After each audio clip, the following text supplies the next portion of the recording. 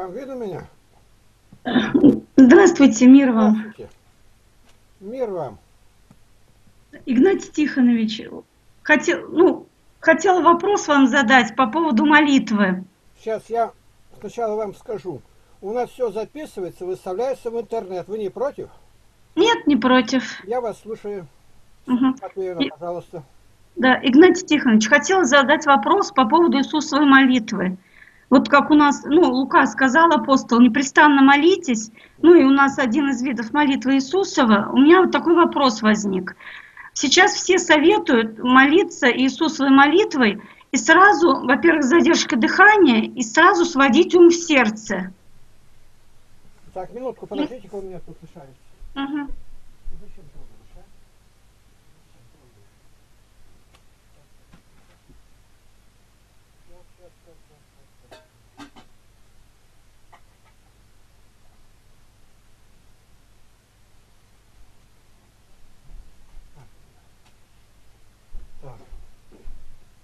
Ну и что?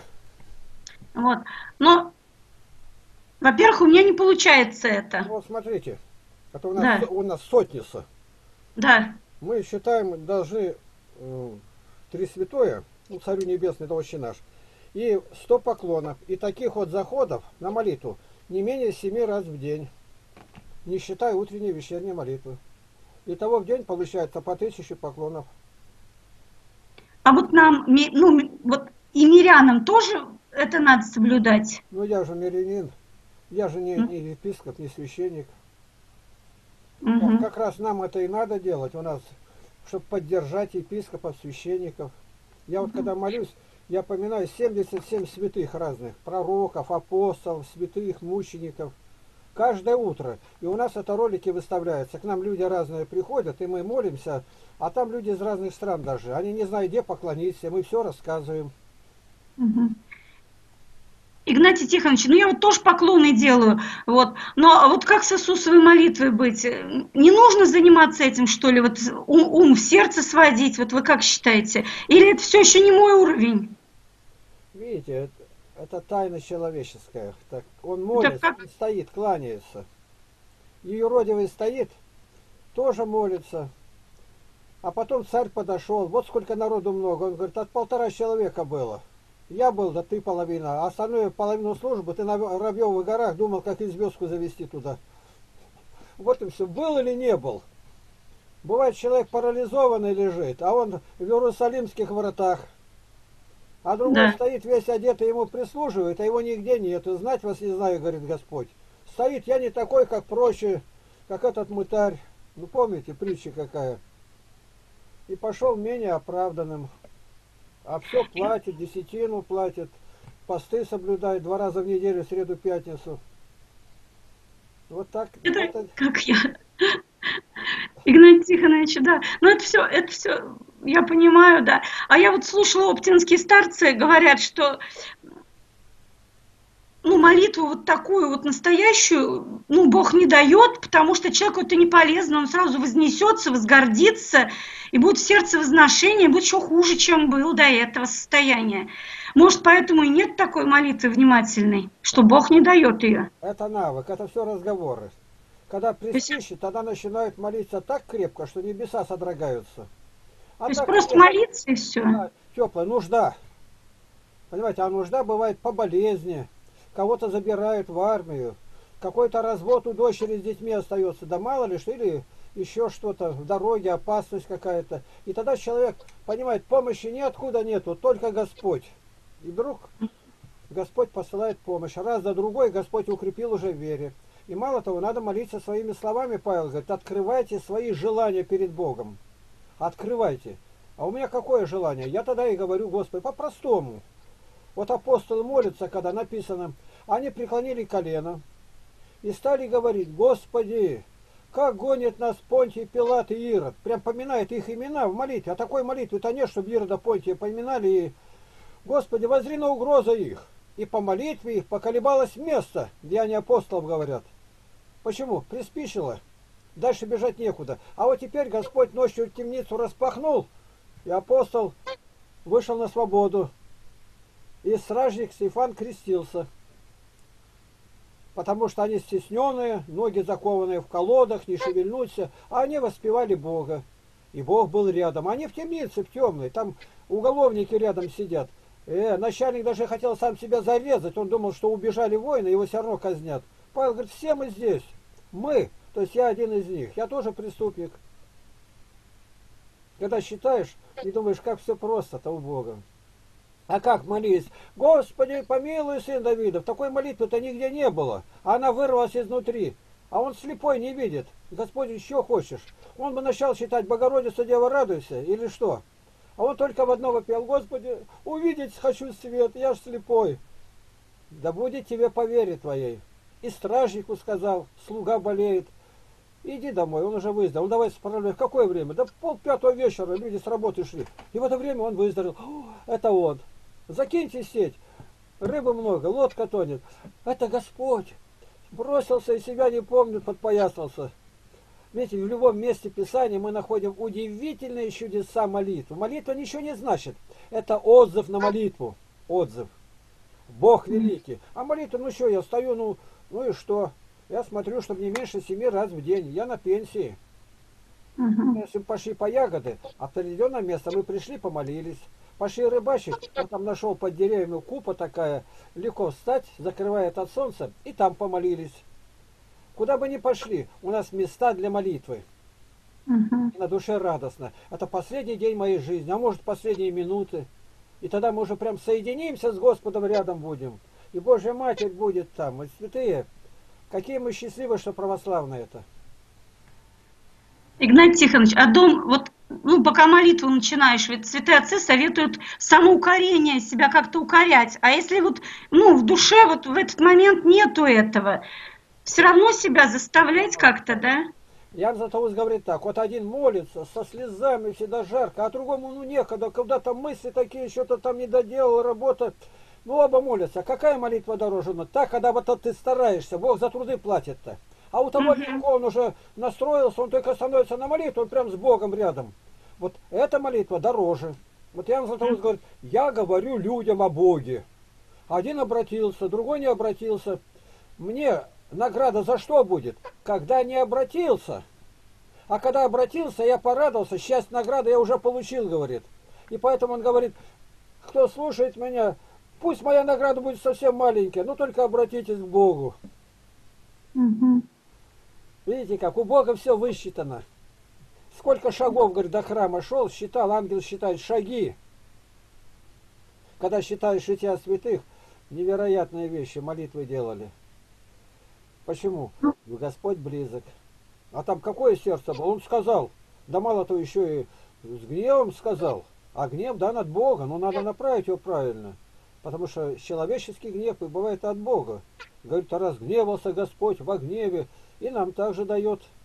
Это не то, что такое, он разгневался, он сказал громким голосом. А вы как понимаете? К Иоанну Крестителю шли люди креститься. Еще надо-то? Ну идут уже. Уже обратились. Вот он их теперь давай крестить. Порождение Ехидниной, змеи. Вот это окрестил он их. А мы рассуждаем. Ой, батюшка такой ласковый, вот головку поцеловал. Зацеловали, любисты. Ты сделай, говорит, так, чтобы солью приправлено было. Колосянам Павел пишет чтобы люди поняли, и игра кончилась. Христианство, Златоуст говорит, это не шутка. Первым делом отречься себя. А я за Богом хочу идти молиться, не выйдет. Первый шаг себя отречься. Второй возьми крест, с радостью неси терпением, не ропщи. Бывает от, от жены терпеть нападки, от мужа, дети, на работе, да мало ли что. За все благодари. Это вторая часть ступень. Первая просительно, дай, помоги, избавь, сохрани. Просьба. А вторая молитва возвышенная «Благодарю». Написано «За все благодарите». А третья ангельская «Слава Отцу и Сыну и Святому». Не прошу, ничего не надо. Аллилуйя. И вот эта ангельская песня, ее нужно по ступеням все время в церкви. Это как богослужение. Маленько помолись, опять слава Отцу и Сыну. То есть церковное богослужение – это лестница на небо. Это небо на земле. Если бы мы понимали это все, особенно литургию. Все понятно. Все понятно, спасибо вот большое. Заходим на молитву, когда у нас, ну, угу. у нас свои дежурные там, вот, и так свет мигнул, все заходят. За семь минут до богослужения. Семь минут. Ни одного шага никто не сделает. Даже не кланяться. Все замерли. Про себя мысленно молимся, благодарим за неделю. И чтобы у священника огненное было служение. Семь минут проходит, врата царские открываются, все поклонились, служба началась. Каждый раз мы ввели эту подготовку. А откуда вы взяли? Из молитвослова православного был патриарх Алексей I, а это второй потом. И он написал, когда становитесь на молитву, не торопитесь, приведите чувство в состояние готовности. А Сираха говорит, не искушай Бога, когда просишь. О чем просил, даже не знает. Не поминай имя Бога в суе. Если заговорил, я разговариваю с Богом, великим и страшным, любящим и долготерпеливым.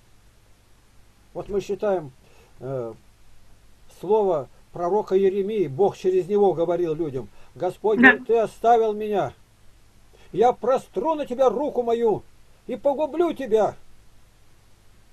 Я устал миловать. Бог устал. Ну, понятно, что это антропология такая дается, чтобы приблизительно мы понимали, о чем речь идет. Вот какое дело. А то Бог никого не наказывает. А кто первый мир потопил? Господь. А кто Содом и Гамор, а там и были и кошки, и собаки, и младенцы. Все сгорело, и на дно море ушло. Не надо играть. Бог страшен в правосудии. Когда прикасается к горам, горы, говорит, дымятся. Давид поет об этом. У него молитва была такая, что она как будто сегодня утром описал ее. И мы должны благодарить и за Давида, и за то, что издали, что переводчики перевели с еврейского нам неизвестного языка. И такой перевод чудесный – Двое переводчиков канонизированные. Филарет, митрополит и алтайский наш архимандрит Глухарев. Вот так.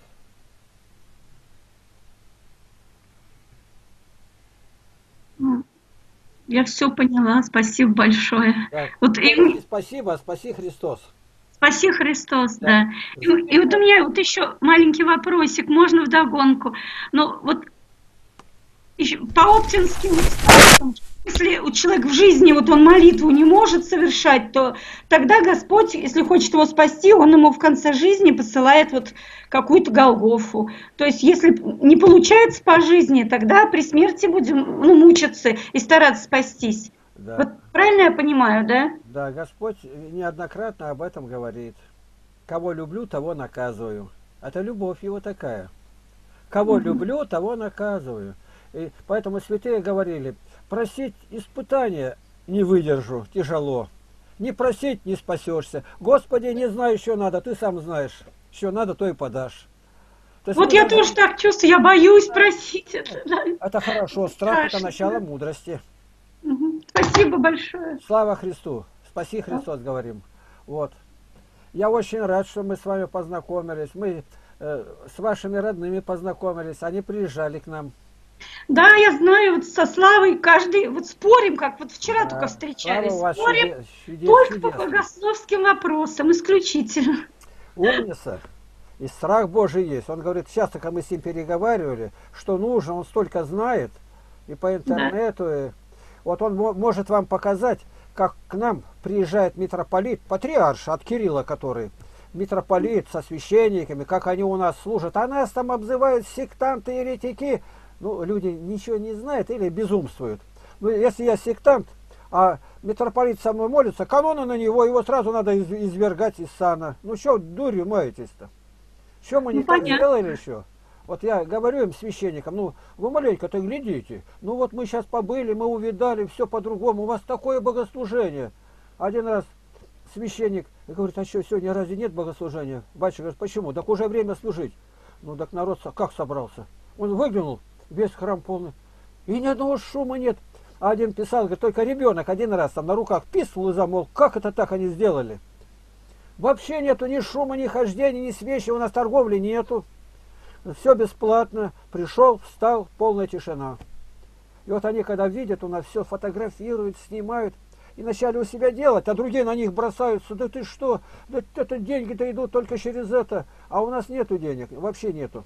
У нас включена десятина, и все на этом кончится. Она от Бога. И поэтому, когда к нам приезжает епископ, он говорит, я многому научаюсь. У нас свой был епископ Евтихий. А сейчас митрополит Сергий. Патриарший. Он приезжает с объятиями, с поцелуем и уезжает также. Уезжает, обнимает, целует и благословляет. А люди, не зная ничего этого, берут на себя право судить. Да где же наши сучки да бревна-то? А я еще буду смотреть, как они молятся. Я знаю, проходной двор в церкви, туда-сюда ходят в брюках. Ну, какие угодно люди. Никто ни за кем не смотрит. Убили тут авторитета этого преступного мира. Они гроб принесли, на гробу у них положена кожаная куртка. Священник выходит, отпевают. Преступник, грабитель. У нас этого нету. Совершенно нету. И быть не может. Поэтому у нас священник, он имеет власть. Вот возьмите правило Василия Великого. Если женщина сделала аборт, отлучается от церкви, от причастия на 10 лет. Сегодня нигде, ни в одном храме этого нет. А у нас, чтобы он не был, запил один, на два года отлучается. С ним работают. И он стоит отдельно. Оглашенно изыдите, он выходит. Почему? Это работа, это церковь. Невеста Христова, невеста, ее беречь надо. А не так, чтобы каждый грязными лапами хватался за нее как Златоуст говорит, руки в навозе и берете за царскую одежду. Похвала вам будет за это. Вот так. А вы знаете свое имя, как переводится? Мудрость. Мудрость, мудрость. А еще лучше премудрость. И поэтому надо соответствовать, во всем обращаться к Слову Божию. Вот 12.48 Евангелие от Иоанна прямо говорит, Господь говорит, я не сужу, Слово, которое я говорил, оно будет судить вас в последний день. Для меня это был переходной период. Я в 23 года обратился по Слову Божию, а верил-то с пеленок уже почти. Все. Оно будет судить, я понял, мои знания, что я занимаюсь, чем... Это все во свете Библии надо смотреть. Я и специальность бросил, и все по-другому пошло. Бог меня наставил, открыл. У меня Библия, вот она, когда начинаю с кем-то говорить, есть Библия? Да, есть. Я говорю, покажи. Да где-то была. Как где? Она должна у тебя быть. День и ночь. Это по благословению патриарха. Вот так. Мы рады, что у нас есть живое слово. Оно называется Слово Божье, Святая Библия, Священное Писание. У нее три названия. Я слу... Библию тоже читаю. Ну, я с толкованием, я сама это... А вот батюшка у нас поедет назад, отец Аким, он в отпуске сейчас, там где-то по Дивеево, везде каждый год ездит. -то. И вы можете с Вячеславом узнать, они в прошлый раз его встречали, даже дедушка там, говорит, был. Да, да, да, я видела. А, видела? Видели? Видео видела. А, ну вот, видишь как, по-простому, по любви. Вот такое должно быть отец и дети. Угу. Такая любовь. Мы вот 4 э, месяца в деревне были, а сейчас осень все собрали, там еще огородное, и приехали сюда, теперь в городе. А наши там в деревне. Деревня одна такая на весь Советский Союз была. А уничтожено 21 тысяча поселений. И еще 10 тысяч сейчас добавляются. Полностью разрушено. Никого нету. Получили статус. Все, зарегистрированы. Государственная школа построили сами храм сами, дороги сами, пруды сами. А это государство должно делать. Я вот начальник детского лагеря 45 лет, а сейчас в другом варианте еще плюс 3 года. И ни рубля государства не дал. Тысячи детей подняли. Понимаете, когда так для Бога, у нас все с молитвы начинается, Евангелие, чтение в лагере, тогда на душе легко я отвечаю за детей. За 45 лет ни одного несчастного случая, никто не заболел, не сгорел, не утонул. Были из Канады у нас люди, с Бразилии, с Америки, откуда только не были. По интернету искали, нигде такого лагеря нет. На нас натолкнулись, а получили разрешение и прилетели сюда. И мать с детьми. А у нас еще и нету. Мы вот как живем, так и живем. Да, молитвы. Да, посты все строго соблюдаем. Если растительная масса не разрешается, то у нас его не будет. С чем-то заметно. Да. Ну мы, вот говорят, а как, почему так? Я говорю, я православный. И раз я православный, все разговоры окончены, я обязан соблюдать. Если не соблюдаю, ты не православный, тогда не называйся этим святым именем. Там разные баптисты, они не, не нет постов этих. Ну и понятно, раз нет, то и спросу нету. Как говорит Феофан Затворник, разные причины. То болеют, то гастрит, перитонит там придумывают. Вместе с церковью не поститься. Не могу, не хочу. Он говорит, когда умрешь, и когда демоны в ад потащат, тогда хочешь, не хочешь, пойдешь. Так что начинай сегодня смирять свою гордость. Бог повелел, и так привыкаешь к этому, и даже ничего и нету. Вот у меня брат, он ездил где-то там, я не знаю сейчас где, в каком-то большом городе. Ну и священник говорит, видишь, человек 150 тут на исповедь пришли. Я так устал, ты помог бы мне, отец Аким. Он говорит, батюшка, ну я-то по-своему буду. Вот это и надо. Нет, ну у нас по, по канонам, так вот это и надо. Сам зашел туда, отец Аким, он сказал, говорит, вот отец Аким приехал с Алтайского края, он будет вас сегодня исповедовать-то. Ну, народу много, толпой, толпятся в очередь. Он сразу сказал, правило 69 апостольское, гласит, если человек не соблюдает посты, пост отлучается на два года. Поэтому, кто не постился, можете идти. Исповеди вам не будет. А когда будете хотя бы год соблюдать среду, пятницу, согласно которой календари выпускает патриархия это, там написано когда что. Сразу больше половины ушли. Смотрят тут старички, молодые стоят. Он им говорит, у кого желание есть бриться, я вас не, не отговариваю. Вы искажаете образ Божий. Но исповедовать я вас не буду. А кого исповедуют? Ты как женщина. Когда борода будет, тогда придете сюда. Отхлынули, человек 10 осталось, но теперь пошли на исповедь. И никаких 150 нету. А это улица, улица. А мы когда считаем 5.23 деяния апостола, там написано, из посторонних никто не смел пристать к ним. Никто. Вот у нас возле храма у нас не просят милости, нет. Мы сразу разузнаем, помогли ему и до свидания. А не так, что тут и напьются, и валяются, и дают. У нас абсолютно этого нету. А то нельзя выполнить. Я говорю, ну ничего не делали. Начни делать и получится. Храме тишина. Торговли нет. Свечи никто не ставит. Воск купили, бабушки чистенькие слили свечи, сколько надо, батюшка ставит. Аромат а не то, что зеленое, синее, там, парафиновое, да, что-то нету. Чисто восковые. Об этом Серафим Саровский говорит.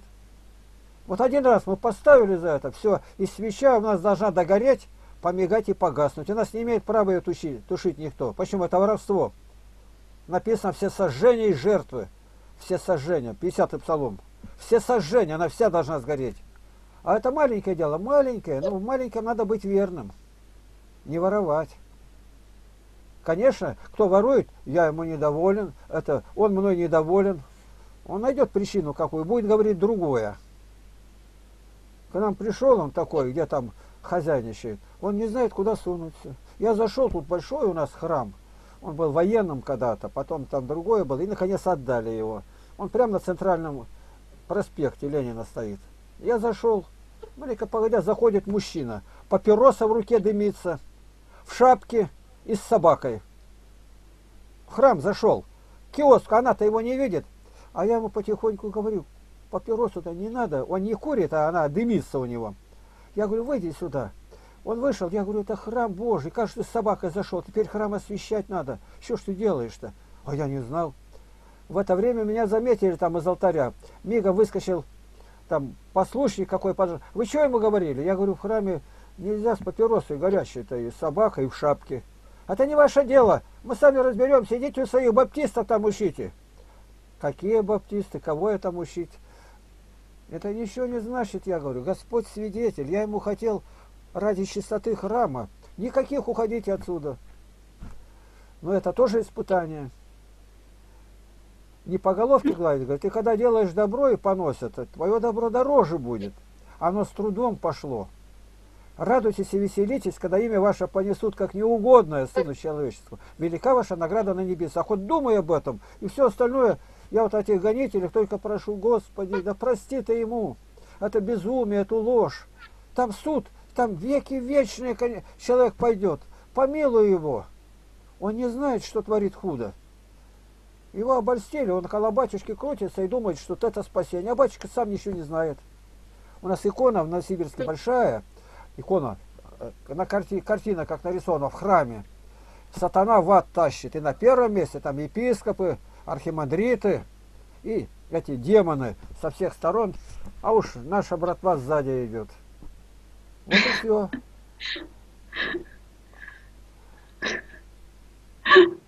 Да. Хорошо, Спасибо. что вы пришли, хорошо. Вот. Поэтому у нас очень богатый YouTube, много людей. Я вот беседуюсь, вот если зайти, вот сегодня поставил беседа с мусульманами. Вот в Казани, когда встречали, там один из такой, он как-то не, не татарин, там туркмен или кто, ну тоже из мусульман. Он приезжал, крещение принял. И они как-то похожи с Вячеславом даже. Ну, да, у него мама татарка. Ездра звать. Это первый в России Ездра. Его сви... нет в святках. Мы упросили священника назвать. Это единственный святой в Ветхом Завете, за которым нет упрека, и так много он сделал. У него здесь три книги в Ветхом Завете. Не... Он вывел народ из плена, отстроил стену, и с Нееми устроили всемирный развод. Они там поженились на язычниках, а это нельзя по закону. И как они их отпустили? Это все он один. С Неемией. А его нет списка, потому что он не монах. Монахи канонизируют. Как Андрей Кураев говорит. Захватили небо. За, за тысячу лет в России ни один мирянин не канонизирует, ни один. А почему не канонизировать был работник таможни? работает нормально, работает на аэродроме где-то, взятки не берет. Разве это недостойно похвалы? Ну, наверное, это недостаточно. А, недостаточно, надо быть монахом. А про монашество Нет, ни да? одной строчки нету в Писании. Написано, идите по всему миру и проповедуйте Евангелие. Златоуст это понял, когда уже в ссылку сослали. Давай монастырь распускать и идите проповедуйте. Если бы не проповедовали, еще бы и не было. А мне кажется, проповедовать надо своей жизнью, а не вот так ходить. Нужно, ты сначала должен сам состояться как э, православный христианин. А если я сама еще ничего из себя и пошла проповедовать, скажут, вот она какая, сама от ничего, а вот ходит еще тут. Выслушать, что то еще. Это так. Вот Андрей Ткачев, такой священник, слышали? Да, слушал проповедь. И говорит, вот люди узнали о смысле жизни, узнали но не у нас в православной вере. Они узнали, что Христос родился, но узнали не у нас, не у православных, а это наши прихожане. И наши прихожане узнали, что Христос умер за их грехи, перечисляют, и узнали не у нас. Они все это узнали у протестантов, там у баптистов. Как отвечать перед Богом будем? Миллионы ушли, миллионы. Храмы-то пустеют, а которые стоят-то ничего не знают с улицы. Это наконец уже дошло до такой степени, что уже с кафедры говорят. А я говорю об этом все 57 лет, как обратился. Где Слово Божие звучит, там обращение идет. Потому что вышел сеятель сеять, а не сеять, там один сорняк и растет. Когда сеешь, одна четвертая прорастет. А не сеешь, что там будет? Ну, картошку не сади. Осенью пришел с лопатой, куда идти? Там ничего нету. Поэтому надо говорить, надо молиться. А уж как Бог даст. Мы можем говорить, это благодать призывающая, Феофан Затворник говорит. А если человек покается, благодать обращающая. А еще есть третья, говорит, благодать, вид благодати, это освящающая, что священники преподают крещение, литургия, причащение, у сектантов этого нет. А у православных первые два нету. Пришел, отстоял и ушел. А раз, не зная, причащается, многие больные немало умирают они не рассуждают о теле Господнем. Так что кладбища все эти на совести тех, кто не научил.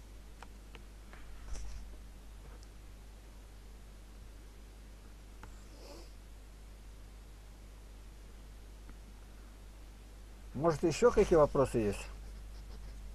Мне вот сама основ... У меня вопрос еще такой есть. Вот мы со Славой все время спорим, с Вячеславом.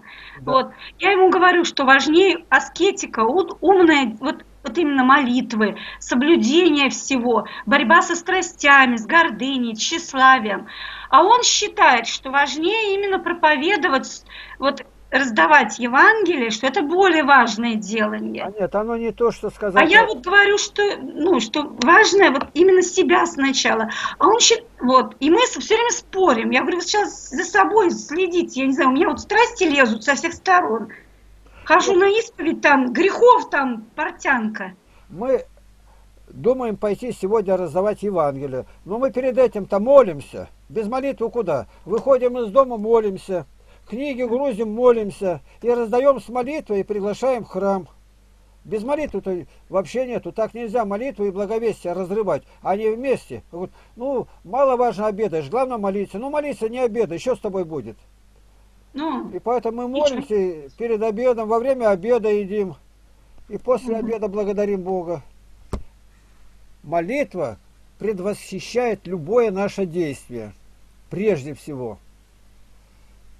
А я ну, еще прочитала, что нельзя благовествовать, если нет на это благословения. Чьего?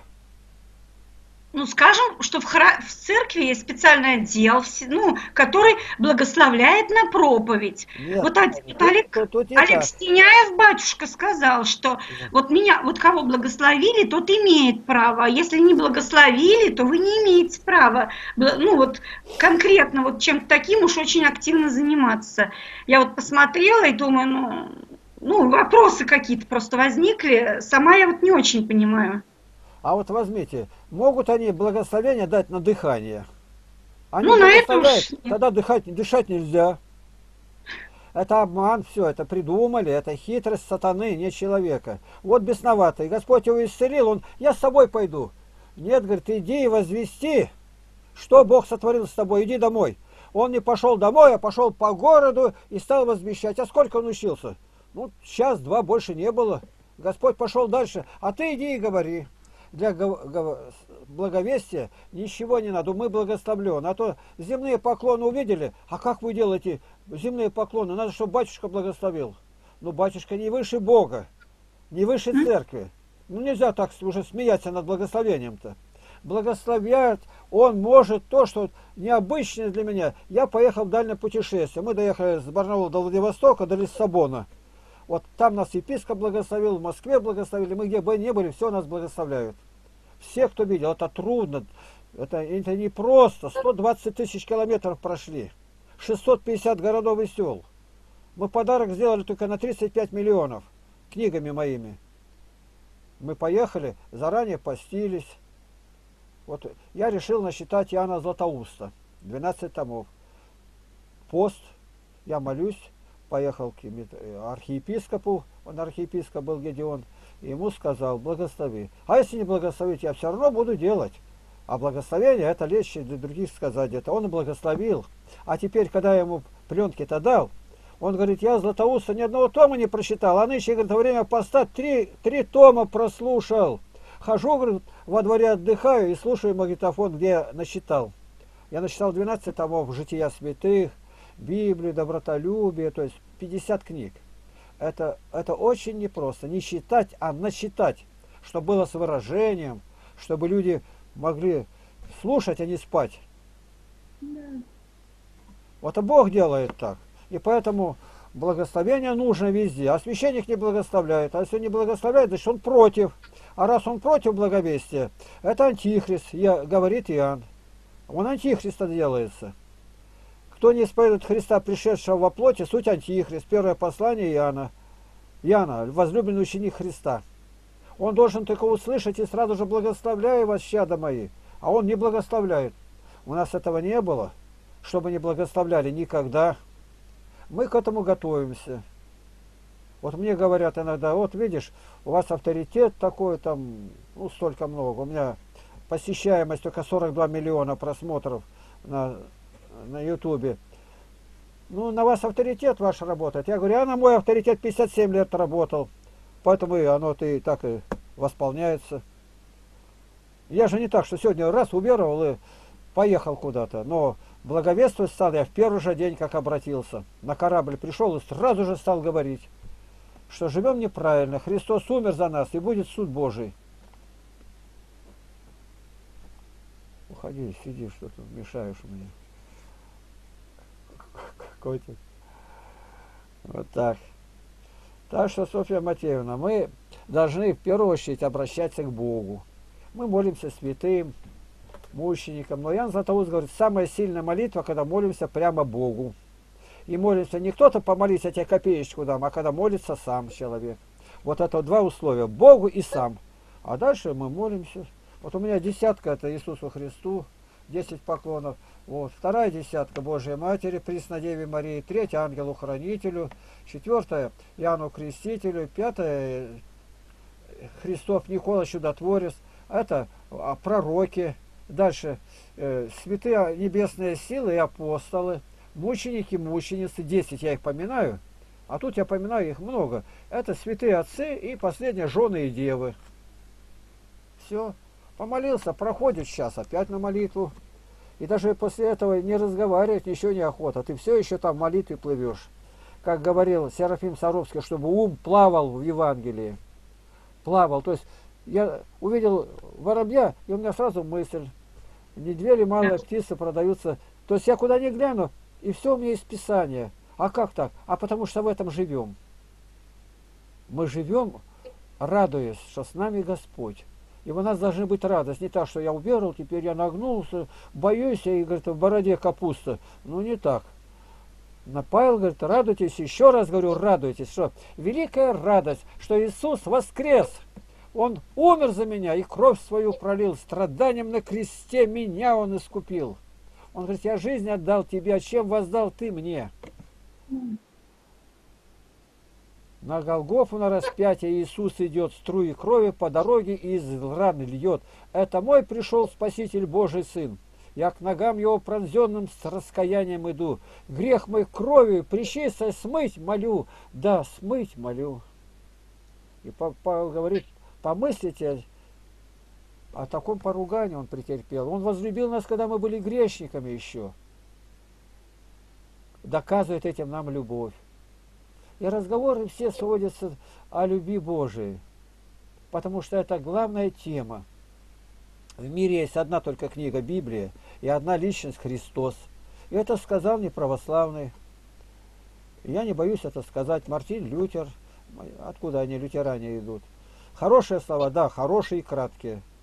Мы многое что-то считаем, но мы должны смотреть, по Библии или нет. А так, батюшка, благословишь эту книгу, он ее в глаза не видал. Вот пишет, по благословению патриарха. Сколько книг издают, ему за 10 жизней не просчитать. Ну, он спросил там митрополит или кого, ты книгу читал? Нет. А какого-то диакона спросил, он говорит, я читал, хорошая книжка. Ну, ну ладно, пускай благословение будет. Я знаю, как это делается. У меня брат благословляет, а он не читал, он мне доверяет. Еще если читал, одна книга у меня 752 страницы, а их книг этих 33. Еще, что, когда он прочитает-то? Я 9 лет за компьютера не вылазил. 30 тысяч часов провел здесь. И поэтому надо понимать, что человек говорит. Есть такие условные, условные ответы, то есть по общему трафарету. Вот женщина должна быть всегда в платке. Почему? Потому что в любой момент ей надо воззвать к Богу. Вот мы считаем, книга Неемия, народ был в плену. А он там возвысил его Господь, и он был виночерпием у царя. Виночерпие – это очень доверенное лицо, через него могут отравить. И он однажды, вот считаем, вторая глава, говорит, я стоял и подавал вино. А царь посмотрел на меня, ты что-то печален сегодня? Ты болен? Нет, не болен. Я, говорит, сильно испугался. Сильно испугался, как Сталин с человеком говорит, а он генерал – а глаза бегают. У тебя что-то глаза сегодня бегают. Все, в угулах и пропал человек. Вот это тогда было. Он говорит, я сильно испугался. А вокруг князья стоят, маршалы. Я помолился Богу и сказал. Он как помолился, то он только сказал, Господи, помоги. Больше он ничего не мог сказать. Я сказал, народ мой в пленении, Иерусалим разрушен, храм разбросаны камни, там рыкает враг, как мне не быть печальным? Он с царицей, и что ты хотел? Чтобы отпустил меня. Со мной многие хотят поехать. И он дал ему сопроводительное письмо, и чтобы ему отпускали деньги. Видишь как? Я помолился. Я вот об этом. Когда помолиться, когда стоишь перед царем-то, мысленно, как молния сверкнула. Отец Небесный, помоги. Он губами не шевелил даже. И Бог мгновенно ему ответил, и сердце царя взял и повернул к нему. Мне кажется, Бог не всегда отвечает. У него же написано, заткну я свои уши и не слышу. Да, ну что ж. Может быть, вот мне кажется, что нас, грешников-то, он и не слушает. Нет, Исаак женился, год проходит, детей нет. А что такое у евреев? Детей нет. Это же трагедия. Это не то, что там вот у русских нет, да еще сделает абортов 40. Так вот здесь. Он молится, два года, три, десять, пятнадцать, восемнадцать, еще нету. Девятнадцатый, он продолжает молиться и любить ее, Ревекку. На двадцатый год забеременела и сразу двойняшки. Мы про одного считали, Васильев, это рекордсмен был. У него жена родила, кажется, она 17 что ли раз родила, 64 человека, 64 ребенка. 64! Там она по 6 раз, по 6 ребятишек сразу рожала, по 5 несколько раз, еще больше по 4, а по 3 она там очень много рожала. 64 ребенка. Вообще. Даже 4 сегодня, и то уже многодетные. Да. И главное, умерло всего 3 человека. Так Тогда медицина была слабенькая такая, и однако Бог так сделал. И фамилия сохранилась. Главное, его известно, как звать, а ее фамилию даже не сохранили. Никто не знает. А так так сказать, что Бог слышит и Бог дает, и ты принимай и благодари. Получил или не получил, одинаково благодари. За все благодарите, ибо такова воля Божия во Христе Иисусе. За все. И притом семикратно в день, за суды правда Его. 118 Псалом, 164 стих. Я это взял как эпиграф своей пенсии. Вчера у нас собрание было после богослужения. Я спрашиваю, кто молится семь раз в день? Ни один не поднял руку. Другой там шесть раз, пять раз. Я говорю, ну пенсионеры это большинство пенсионеры. Ну почему же? Ну, ну заведи щетки-то, ну в церкви продают, ну возьми да начинает трудиться. Мы когда благовествовали, Евангелие по домам разносили, я захожу, жара такая. Кто дома есть? Я дома. А кто это? Бабушка, я лежу одна. А что ж ты лежишь, баба? Смотри, какая погода.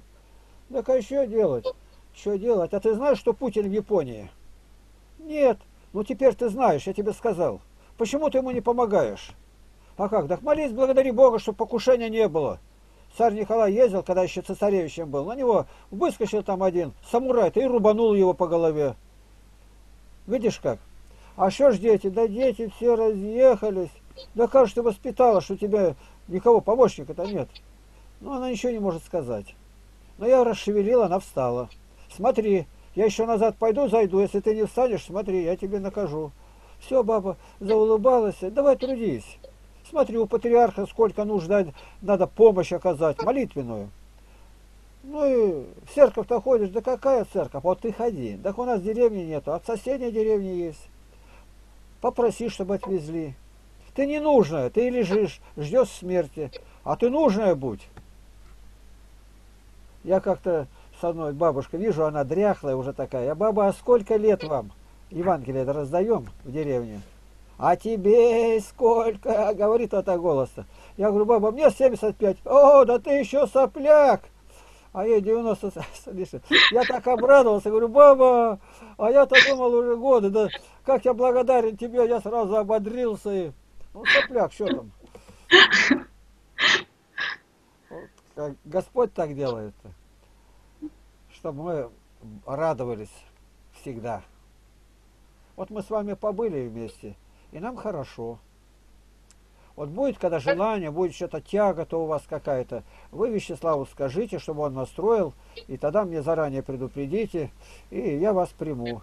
Я далеко не всех принимаю, и, потому что у меня нет времени, я ухожу из дома, я все сказал, чтобы меня нету, позвонили, я скорее тогда домой поверну идти.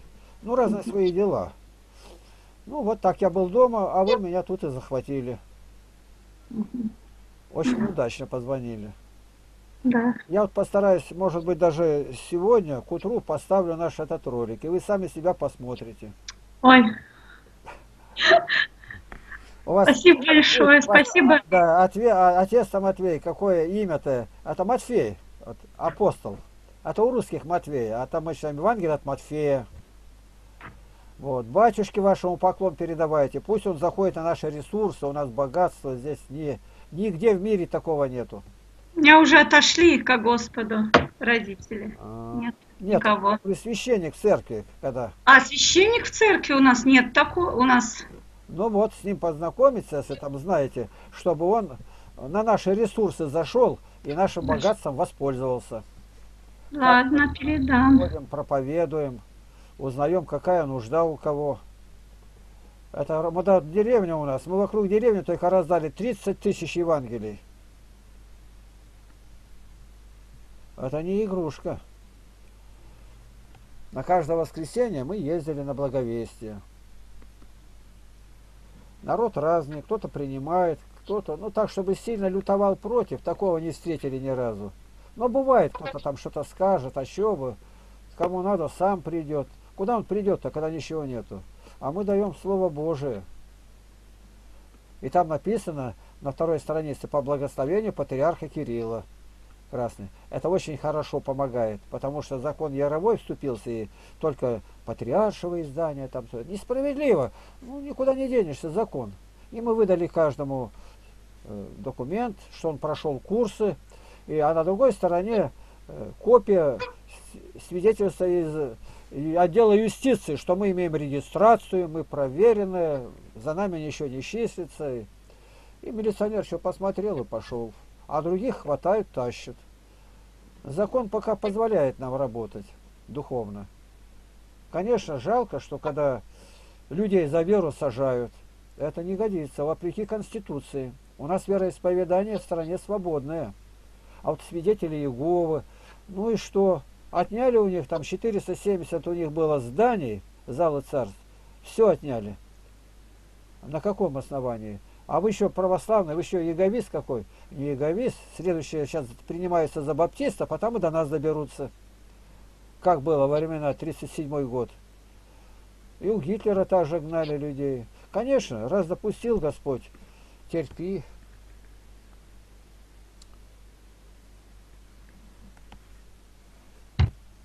Так, если у вас вопросов нету, мы будем расставаться. Да, спасибо Бог, спасибо большое. Спаси Христос. Спасибо. Так, ну я доволен, что вы пришли. Да, Мы повидались, и слава Богу. Да, слава Богу, спасибо большое. поклон передавайте, что мы встретились. Ну, завтра, может быть, к утру я сумею поставить этот ролик. Вы тогда соберетесь и послушаете. Скажем, вот такая была у нас беседа. Да, спасибо. Слава Христу. Ну что, до свидания. До свидания. Храни вас Господь.